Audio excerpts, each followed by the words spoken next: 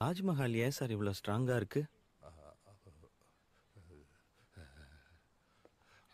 காதல். தாஜ்மஹால் நேர்ல பார்க்க எப்படி இருக்கும்ல?